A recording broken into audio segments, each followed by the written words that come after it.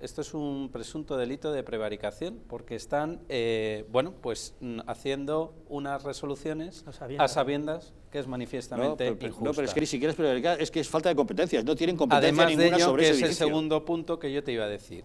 Para mí es un presunto delito de prevaricación y falta de competencia porque los políticos no pueden estar por encima de las instituciones, Javier. Las instituciones son las que están por encima de los políticos al servicio de los intereses generales de España.